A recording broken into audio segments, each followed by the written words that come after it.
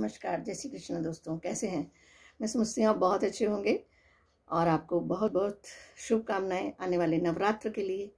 देखिए, अभी नवरात्र आ रहे हैं तो इन नवरात्र में आप क्या उपाय करें जिससे कि आपको माँ अच्छे से प्रसन्न हो जाए और आपके सारे रोग, शोक, दो और आपके अलक्ष्मी, दरिद्रता ये सब दूर हो जाए। तो इसके लिए आपको बहुत छोटा सा उपाय करना है दोस्तों। इन दिनों काशी फल खूब आता है, यानी कि एक बहुत बड़ा उसे कद्दू भी कहते हैं, बड़ा सा होता है, अंदर से बीज होते हैं उसमें और बाहर उसके लाइनें सी होती हैं। उस तरह का एक कद्दू आता है बड़ा, यानी कि उसे हम बोलते हैं काशी फल भी बोलते हैं। तो आप काशी फल ले लीजिए एक बड़ा सा और उसको मंदिर में दान दे दीजिए। तो ये हमारे जो है लाल किताब के उपाय हैं वैसे तो दोस्तों बहुत अच्छे उपाय हैं और आपको एक और क्या करना है, इसके साथ ही अगर कोई बहुत लंबे समय से बीमार है तो आप उस पर जब माँ की, दुर्गा की स्थापना कर लें तो उसके बाद उसके सिरहाने पर जा कर के, माता से, माता के छुआ करके टच करके एक सिक्का डेली वहाँ पर रख दिया करें। एक डेली सिक्का रखा हुआ आप किसको देंगे? किसी भी सफ़ाई कर्मी को आप दे सकते हैं। वो इकट्ठे हो जाएँ तो इकट्ठे दे दीजिए। किसी में रखते जाइए और आप उनको दान कर दीजिए किसी भी सफ़ाई कर्मी यानी कि मेहतर को।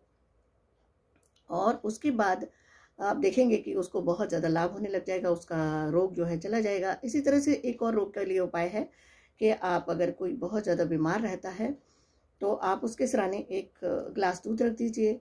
एक गिलास छोटा गिलास दूध रखिए, जो इतना छोटा गिलास होता है, उसमें डाल करके दूध रखिए, कच्चा दूध, और उसको उसके बाद सुबह उठ करके मॉर्निंग में उस दूध को आप किसी भी डॉग को पिला दीजिए।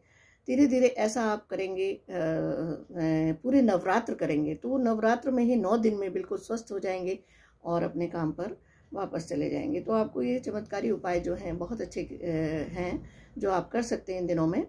इसी तरह से आपको एक उपाय और करना है कि जो हमारे घर में जैसे कि जवारे होते हैं, ज्वार बोलते हैं जिसको कि लाल रंग की ज्वार होती है और जो हम जवारे बोते हैं, यानी कि जौ से बोते हैं, माता के नवरात्र में जवारे, जवारों को आप निकाल लीजिए उसमें से और उनको पीस लीजिए। पीस करके उन जवारों को और घर के सदस्यों को, सभी को थोड़ा थोड़ा उसका जो है पानी में उसको घोल कर और उसका जो रस टाइप का होगा, उसे सबको पिला दीजिए। देखिए आप कितनी जल्दी स्वस्थ होते हैं।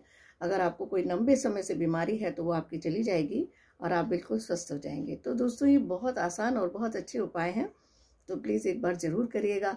और इसी तरह से आपको एक और उपाय बताना चाहूँगी मैं कि जो भी आप नारियल रखते हैं, जैसे कि आप पानी वाला नारियल रखेंगे, जिसमें जटाजूट के साथ अंदर पानी भी होता है और गरी भी होती है तो उस गिरी वाले नारियल को आप एक तो माता को अर्पित करते हैं, यानी कलश पर स्थापित करते हैं, एक नारियल को आप अलग से रखते हैं और एक नारियल आप एक्स्ट्रा लेकर आते हैं तो वो जो एक्स्ट्रा नारियल लेकर आए हैं या आप नहीं लाए हैं तो लेकर आइएगा और उसको जो आपके घर में लगातार बीमारी रहती है, बहुत ज़्यादा बीमार है, कभी उसको डायबिटीज़ हो जाती है, कभी उसको हाई बीपी रहता है, कभी उसको हार्ट से रिलेटेड भी प्रॉब्लम्स हैं, कभी उसको हर्निया है, कभी बहुत सारी बीमारियाँ या मिर्गी वगैरह भी आती है तो इस तरह के लोगों को आप दे सकते हैं।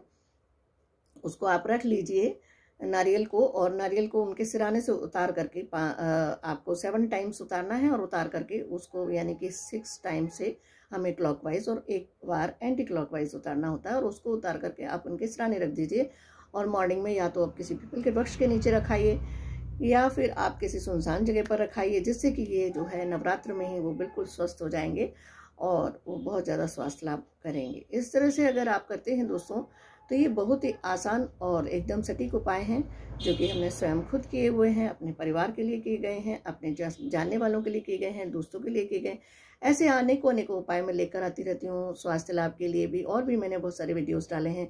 जैसे मैंने माता की चौकी भी डाला हुआ है।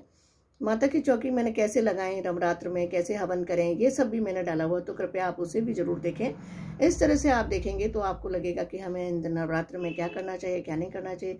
तो हर बार मैं नई नई वीडियोस लेकर आपके समक्ष आती रहती हूँ। तो दोस्तों, इसी के साथ मैं आपके साथ इस वीडियो में विदा लेना चाहूँगी। जय श्री कृष्णा दोस्तों, जय माता की।